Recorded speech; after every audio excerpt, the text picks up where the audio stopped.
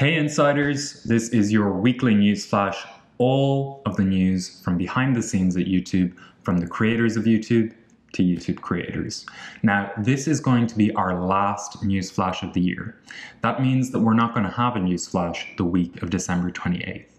And as a special treat, we're bringing back a surprise guest who will be appearing at the end of this news flash. So stick around if you want to see who that is. Our first update this week is around a launch, the launch of something called Civility Reminders. Now, what this is, is reminders that are going to pop up on Android within the US if it looks like a comment you're about to make is potentially offensive. Now, the commenter can still post as is, or they can take a couple of extra moments to consider and re-edit if they so wish. This is something that we hope improves the ecosystem that is YouTube. Let us know if you have any feedback through the comments below or through the send feedback link. Next up, we have Anthony from the unlisted video review team, and he's going to give you a couple of key attributes for your title and thumbnail that could impact video recommendation to new viewers. Take it away, Anthony. Hey, I'm Anthony. I'm excited to share some insights from our team that can benefit all creators. Before I dive into those insights, I do want to give you a heads up. You're going to see me touching my screen throughout this video, and that's because I want to make sure that all eight key attributes, aka insights, that I'm providing is really being thoroughly discussed, and I can really make sure I'm going over all of those areas. So there are eight key attributes that could actually impact your video recommendation to new viewers. So the first will be deceiving or misleading. Does your title or thumbnail misrepresent the content of the video? An example here might be if you're doing a product review, but the title itself is election results, and this has nothing to do with the video, that would be considered deceiving or misleading. Number two is shocking. This includes offensive or outrageous language or imagery. In this instance, Picture the displaying of a dead animal or showcasing an animal attacking a child. Number three, disgusting. This contains gross or repulsive imagery. This here might be the depiction of the insides of a dead animal being displayed as a thumbnail. Number four, violence. This here will be unnecessarily promote violence or abuse and this will be called out in either the title or the thumbnail itself. Whether it promotes it or supports it, that will be considered violence and it will run into an issue. Number five, indecent. This implies sexually suggestive or lewd conduct. In this instance, this could be the showcasing of a sex act or nudity in the thumbnail itself, or even describing a sex act in the title. Number six, is using all caps or overemphasizing in the title. Um, this here, keep in mind though, might not be a problem if it's a, you know, a non-abbreviation. So if you're using words like ASAP or BYOB, that would be generally okay. Number seven is dangerous. This here is the depictions of activities, including pranks or challenges, that put participants in harm's way are not always suitable for wide audiences, especially if those activities are glorified or can be easily replicated by viewers. Number eight is profanity. Generally speaking, sporadic use of profanity in a video wouldn't make a video unsuitable for monetization. However, usage of profanity in titles and thumbnails beyond mild ones, such as the word crap, could limit monetization or performance of your video.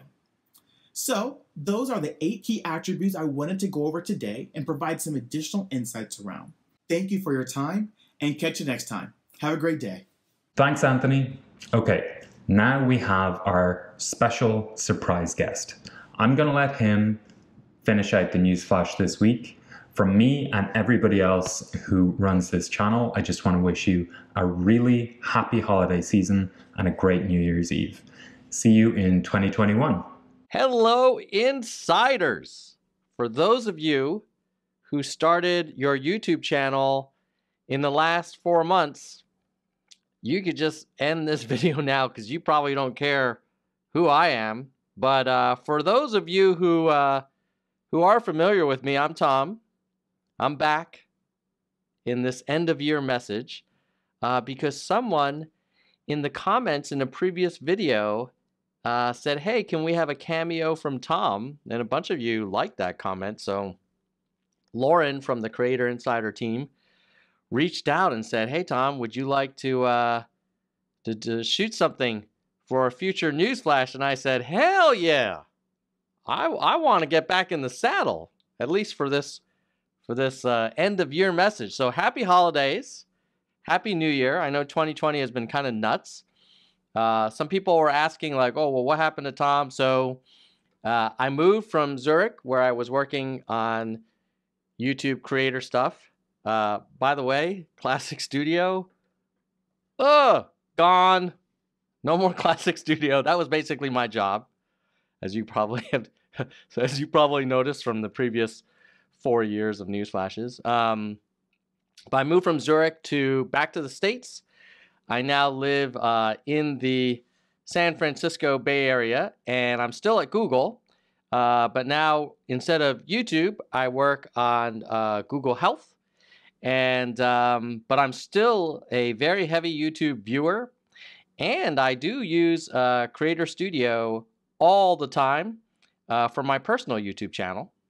Um, so just wanted to say hello, let you know that uh, I'm thinking about you creators all the time. I miss our weekly updates. Um, but, you know, studio keeps getting better. Um, I've been a big fan of the uh, live control room integration in uh, studio. I was about to say in the new studio, but it's just studio now. Uh, and uh, also been using the mobile app a lot lately. They've been making some big improvements to that studio mobile app. So, uh, I hope you've been enjoying it. I know I have. Um, with that, I, I feel like we should do, should we? Should we do it? Should we do a movie quote? All right. I, you know, if you guess it, if you guess this movie, put it in the comments. The first one to get it right, I'm not sure what they're going to do because I don't work on the channel anymore. Hopefully, they'll give you a shout out. But here is the quote. Uh, and this is not clear and present danger. So for the old school uh, Creator Insider subscribers, it's not clear and present danger. It's actually quite a recent movie. And here's the quote like in the books where you know the outcome, but you play it out just to see how it would happen. Like in the books where you know the outcome, but you play it out just to see how it would happen. And uh, a visual cue for this movie, because it's Friday and I'm in a good mood, I'm going to give you a visual cue. Cue. Here we go. There you go. That's it. Uh, Happy New Year, everybody. Stay safe out there. And uh, hopefully, 2021 is an exciting, healthy, prosperous year for everybody. And in the meantime, Keep it real.